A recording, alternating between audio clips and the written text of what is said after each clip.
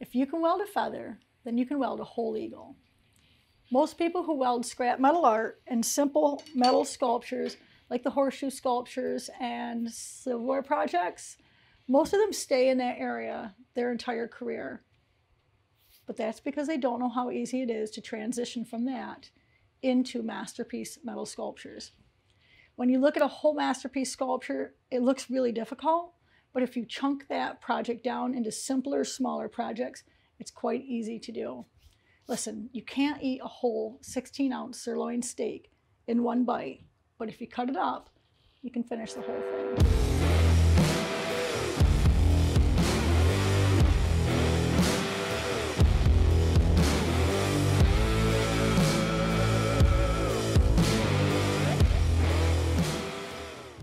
My name's Barbie the Welder, and I'm a full-time metal sculptor. And today I'm going to teach you how to weld a feather. The material I'm going to use for my project is 11 gauge steel. You can go a little thicker or a little thinner, and you'll get the same result. Two inches wide by eight inches long is the size you'll need.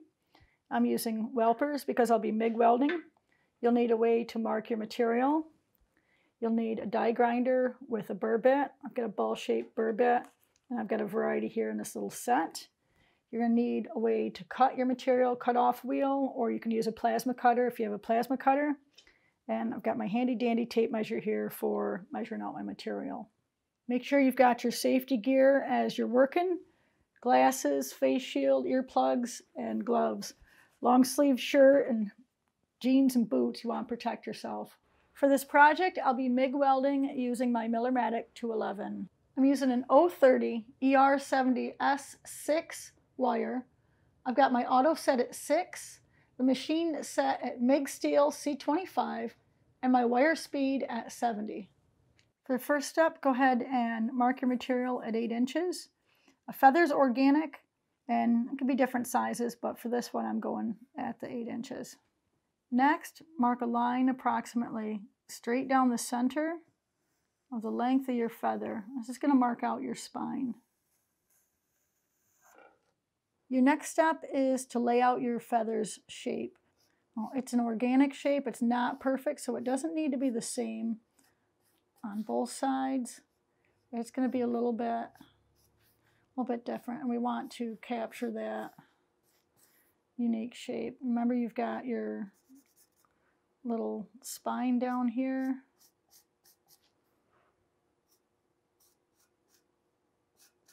Like this, but you've also got like this ragged, like kind of spiky stuff down here at the bottom. So you want to make sure that you leave a little space for where it's not as smooth as the other feathers, and you still got room for your tail. If you have a plasma cutter, then by all means use a plasma cutter to cut this out. But not everyone has a plasma cutter, so if you don't, I'm going to show you how to cut this out using a cutoff wheel. You're going to come in here for your first cut, and you want to avoid where those little feathers are in the bottom. You're going to cut here, stop here, and then cut here to cut this little chunk out. Same thing over here. You want to cut close to that. Cut that chunk out. Same thing up here cut this corner, then cut this corner. Once you have those cut, you can come in and get that bulk of the material off. You can come in here and cut here and here, cut here and here, and then you can use a grinder to smooth yourself down to the line. Now we're going to take our feather and we're going to weld a straight line right down the center, flip it over and do the same thing on the opposite side.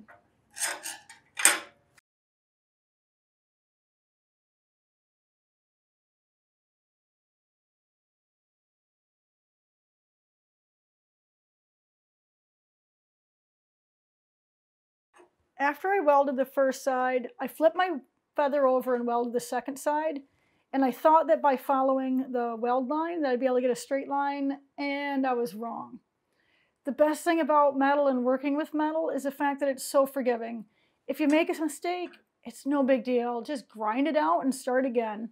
So you see I've got this side, I got that line that was actually over here, ground right out. And now I've got my line down the middle and I'm gonna go back in and I'm gonna weld my line straight.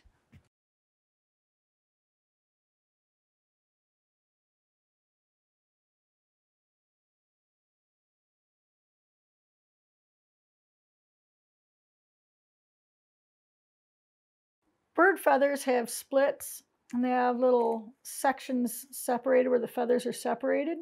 They're not, it's not a continuous straight all the time. And so we're going to come in with our cutoff wheel and we're going to cut a couple of spots in, separate them, and we're going to come in here to these bottom little fluff portion of the bottom of the feather. And we're going to make a couple cuts in there so we can spread that out and create that fluff look. Just go ahead and mark on your feather, just a couple of spots, and we'll go back in and we'll cut them.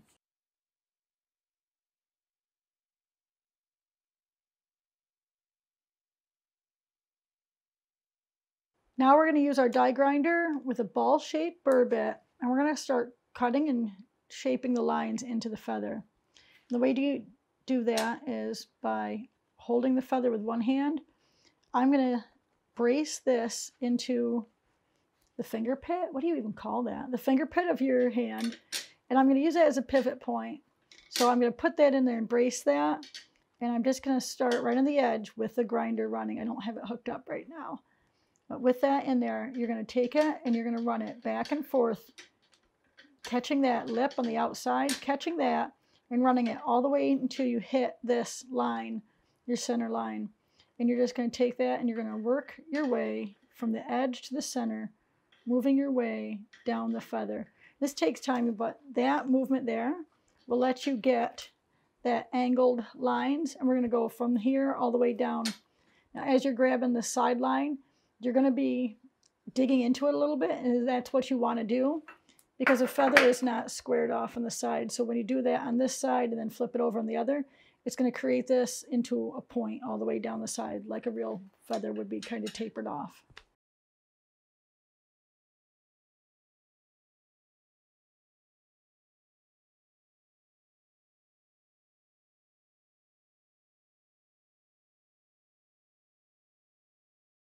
To round out and sharpen the tip of the feather down here, you've got three options. You can use a cutoff wheel, you can use a grinding disc, or you can use a burr bit. Now, I prefer sculpting with a burr bit. This is my cone shape one here. And I'm just gonna come along it and I'm gonna break down the sides. I use a cone shape because it's got a slightly rounded side, but it's got a narrow tip, which means I can get into small spaces and without damaging the piece that I've got in here. So now I'm just going to go in and I'm going to round that out and taper it off.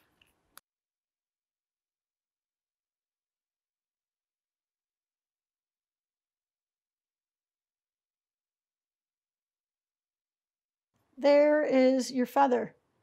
You can finish it up by using a clear coat that's made for metal, or you can go in and flame paint it using heat. I've got another video for that here on YouTube, and you can go check that out.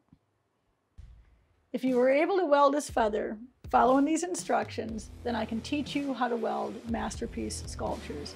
Head over to barbiethewelder.com and get yourself signed up today.